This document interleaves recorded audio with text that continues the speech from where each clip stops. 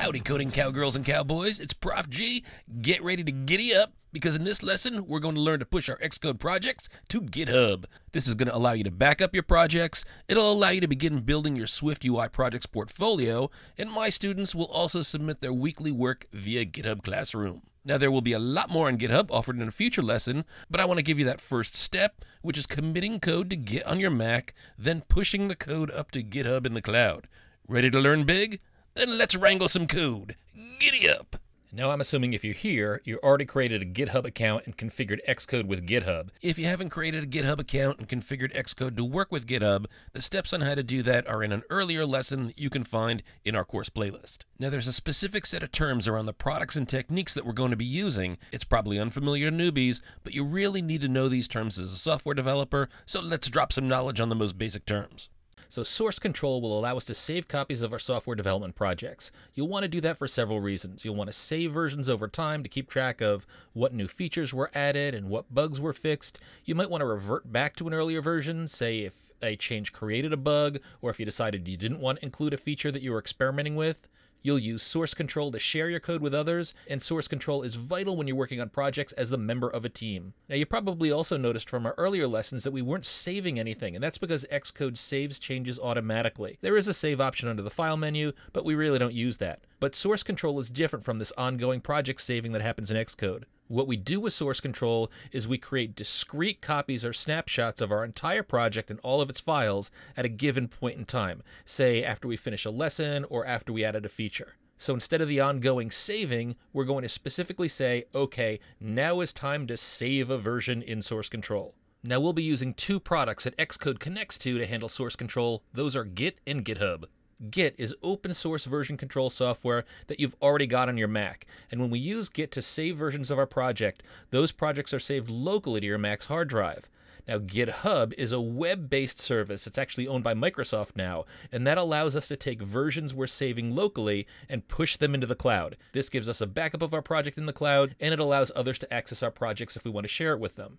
Now, our primary holding place for a project is referred to as a repo or repository, and each version of a project that you save is called a commit. So you can have several commits inside of a repo. You might consider a repo as being kind of like a folder that holds all versions of all the files in your projects, while the commits are individual versions that you've saved in the repo. And as you work through the lessons, you probably want to commit after each lesson and certainly when you're done with an app. And just one more term for now. When we push, we're saving changes that we've committed locally into the cloud. In our case, we're pushing them up to GitHub. And a push syncs up any local commits on our computer with what we've got in our GitHub repository. We're going to see all these terms in action during our tutorial, so hopefully that'll help you understand them better. And there are quite a few other terms involved in Git and GitHub branch, merge, fetch, pull, pull request, but we're going to stick with these ones for now. And one more note to my students. So these instructions are for saving your work to your own Git and GitHub repositories, and you want to use these techniques. But you'll also be submitting your weekly work via GitHub Classroom, and the teaching assistants will provide more information about that. Now, you probably quit Xcode since we last had a lesson, and remember to get back into a project you were working on, you can launch Xcode, and as long as you didn't move your project folder, it should be listed in the recently open projects list at the right side of the Xcode welcome screen, so you can just double click that to open up, or as an alternative, you can just open your project folder on your desktop or wherever you stored it on your computer, find the Xcode proj file, double click that, and that will also open Xcode with that project loaded. And if it loads with canvas paused, click the reload button. It might take a few seconds for this to show up the first time. Readjust your screen. This is as we left it after our last lesson. Now one thing I want you to notice is in the left-hand column, we see these light blue lines here. These are change indicators. They show up when something has been changed since the last commit. Remember, a commit is a project saved to Git. Since we haven't committed anything, then these change indicators indicate any change we've made so far in this project. And you might remember in our prior lesson, we added spaces around the VStack and we made changes to the views and modifiers inside. So all of those lines with a change indicator next to them have what we would call uncommitted changes. Now another thing that you'll notice is if you open up the project navigator, there's an M next to the content view. This means that this file has modifications that have uncommitted changes. Now let's try this together so that we can see change indicators forming in action. Let's click behind the closing curly in the VStack and watch what happens as we press return. See a change indicator show up in the left hand side? I'll enter a comment in Swift. Comments don't execute as code, they're used to document our code. So I'll say double slash here, anything after a double slash doesn't execute as code, and I'll just write new stuff here. Now, if you decided you wanted to get rid of this, you could highlight and delete the comment line, but also, if you go over here into the left-hand side and click on the change indicator, you see that you can click an option that says discard the change, and it goes back to how things were before the last commit. And again, since we haven't committed anything, it goes back to whatever was here when we originally created the project. So now let's learn how we can commit to Git on our Mac and then push those saved changes to the cloud. Now we're going to be working with source control, and we'll do this by heading to the source control navigator. Now this is the second icon from the left in the navigator pane. It sort of looks like a square with an X and a circle inside of it, and the tooltip says show source control navigator. So click that. Under the changes option, you'll see uncommitted changes, and if you click on content view, you'll see the original code before the change in gray, and the changes we made are in a light blue just below that. Now you can ignore this Xcode debugger folder. It's actually something that's created temporarily by Xcode. I'm not even sure why it's in here, but most of the time you're just going to click on this repositories button that you see here. That's just below the navigator icons. And if the information in here isn't exposed, you can just click on the expansion triangle so that it points down, and you'll eventually learn about branches. Those are where you can veer off and create separate code change along two different paths, and you can actually merge those branches back together again. We're going to ignore that right now. We're just going to be working in the default or main branch, and we have no remote set up. Now, remotes for us are going to be repositories in GitHub. That's the place in the cloud where we're going to store different versions or commits of our project. So let's first create that GitHub repo, that remote that we can use on GitHub. Now let's right click on remotes and select new, you are awesome remote. This is going to create a new remote for us to use, a new repo or a repository in GitHub. Now you should only need to do this once per project. And after you select this, this dialog will help you create the remote so if you've configured GitHub properly in the Xcode setup lesson, you should see you as the account and owner. This comes from the GitHub account that you added to your Xcode configuration, and the repository name is by default the same name as your project. You can change this if you want, but no need to. Since I update this every year, I'm going to add 26 to the end of this because I already have a Are Awesome repository. And for the description, I'll write Chapter 1 from Professor Gallaugher's Swift UI course. Now, you don't have to make your repos public, but I recommend students keep their repos visible unless they're working on something super secret like a startup. Now, if you're doing work for your employer, they're not going to want you to display this publicly either. But for students, I recommend that you put all your course projects publicly available because employers are going to look for this. It's always a good idea for students to show cool projects as well as the progression as they learn a new skill. I've had students hired based on GitHub repos that employers have found. In fact, that's kind of a red flag if you're a CS student and you don't have projects publicly available in GitHub. It's okay if they're basic projects initially. All software engineers know that you got to start someplace. And as you have rapid learning documented in your repos, well, that's a good sign. Also, don't be surprised if what you have in your repos becomes a talking point in interviews. I've had students tell me that during interviews, some employers have said, Hey, looks like you took Gallaugher Swift UI course. And then you can tell them about all the awesome new skills that you have and the apps that you've developed based on that. Now leave the remote name as origin, which is always the default that we'll create with a new GitHub repo, then click on create. And after a few moments, this goes away and you see origin under remotes. So now we've got a holding place in GitHub where we can push our saved commits to. Want to see it? Why don't we right click on origin on the left hand side, select view on GitHub, and your browser will pop up in the exact location of the repo you just created. Now you should see two things in here. One is youareawesome.xcodeproj. It's listed as a folder because this is actually behind the scenes what macOS would call a package. There are actually additional files secretly hidden inside of this, but we never really need to go into the Xcode proj file. But why don't we click on the You Are Awesome folder and we see all of the files that show up in our project navigator. Cool. So let's go in here and click on contentview.swift. But hey, this isn't our current version of code. This is the code Xcode gave us when we started. See how this is the globe image and the text says hello world? Now, this is what happens. The first repo that you set up will take that first version of the app, which is the unmodified stuff that Xcode gave us at the start. So, to get the latest version in here, we need to commit, which means save any of our modifications locally to Git on your Mac, and then push, which means push up that latest commit to GitHub in the cloud. I'm going to press the browser back button once and then head back to Xcode. So let's do this. I'm going to return to Xcode to the Integrate menu. Integrate used to be called Source Control, which I thought was a better name. Now it's called Integrate. And we can pull down here and select Commit.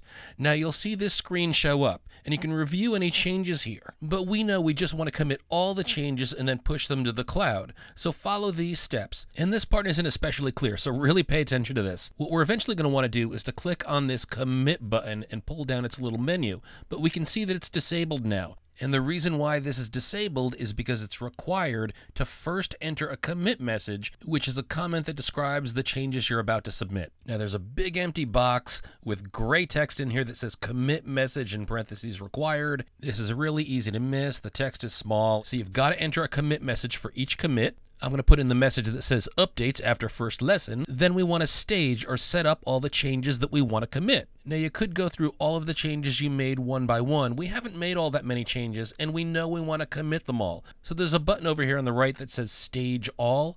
Click on that. That's going to stage all our changes, which means prepare to commit all of our changes. When you've clicked this, you can see that it changes to unstage all. And now don't click the commit button, but click and hold and pull down on the little menu in this button. And you see this reveals an option that says commit and push. Select that. That allows us to both commit, which means save a version locally to Git on our Mac, and push that committed version to GitHub in the cloud. Now this little push local changes box shows up. We only have one branch to push things, that's the origin slash main, so we'll just select push, and after a brief chugga chugga, you'll see no changes in the changes pane on the left. And if we click back in Project Navigator, let's click on Content View. Remember how Content View had an M next to it to indicate that they were unsaved modifications? Well, that M is gone, and we see all the blue unsaved changes lines on the left are gone as well. That's because we've committed everything, we've saved it locally. Now that M and the unsaved changes indicators are linked to Git, so if you commit, those go away. They're not linked to push, so you want to make sure that you commit and push so that everything is in the cloud in GitHub as well. Now to show you that everything's in here, you can actually return to the browser, and if I click on the leftmost You Are Awesome in this breadcrumbs trail,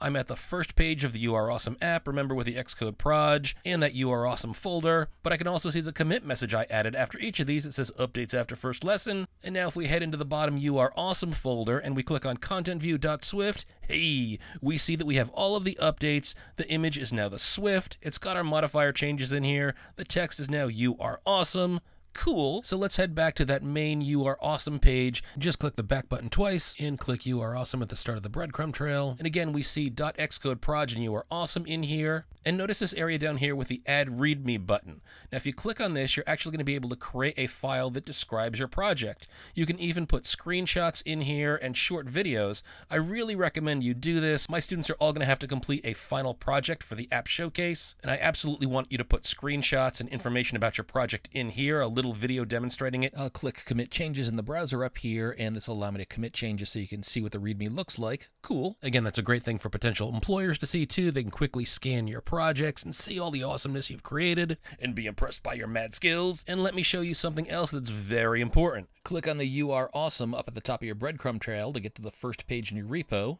Imagine your computer crashed, or you want to load your code on another computer, and let's simulate this now. So I'm going to head back over to Xcode, quit out of Xcode, find my You Are Awesome project. Mine is on the desktop, and I'm going to throw it in the trash. But fear not, friends. We can head back to the web page. We happen to be at the first page of the GitHub repo, and in the upper right hand corner, we've got this green code button. Click on that, and you'll see a pull down menu. And look at this, Super Swifters. We've got an option in here that says Open with Xcode. Select that bad boy. You'll be asked to allow this project downloaded from the internet to open in Xcode. Click Allow. Xcode launches, you can select where you want to save this. I'm going to save mine right on the desktop. And since I had a 26 at the end of my You Are Awesome, that was the name of the remote repo that I set up. You probably didn't add the 26, but just to get things exactly as they were on the desktop, I'm going to delete the 26 and then click Close. I'll trust and open this project coming from the internet. Double click in the gray area in the title bar to expand Xcode to full screen. I'll click my content view, click the resume button next to canvas paused, and look at that GitHub greatness. We have our project restored from the web. This is the version that has the image of the Swift. It's in orange. We've got the text, you are awesome, outstanding. So now you know how to commit to Git, push to GitHub, set up a README file, and download versions of your projects. So let's do one more change and then commit and push to make sure that you know all the steps. Why don't you change the text string from you are awesome to I am a developer. Notice we've got an unsaved change indicator on the left and the M shows up in front of the content view. So now we can go under the integrate menu and select commit. Notice we're now in the source code navigator. I'm going to click on the stage all button. Also make sure that you enter a commit message. I'll just write added I am a developer. Now we see the commit button is enabled, but you want to click and pull down on this and select commit and push. Origin and main shows up, just click on the push button. This chugs away, you should now be fully committed. Let's head over to our browser and take a look at what was pushed.